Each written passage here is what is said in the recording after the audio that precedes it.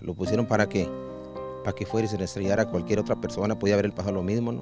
Desgraciadamente le pasó a mi sobrino ahí, cosa que a toda la comunidad de Chibucú nos tiene aquí condenados y agüitados a todos aquí, no se vale lo que nos hicieron.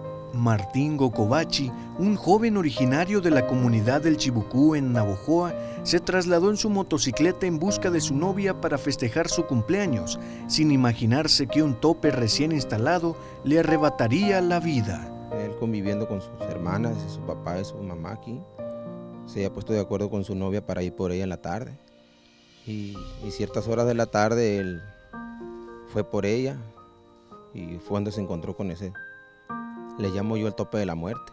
Martín, el único varón de su familia, se encontraba alegre, ya que por fin había encontrado un trabajo estable con el que pensaba ayudar a sus padres y a sus dos pequeñas hijas.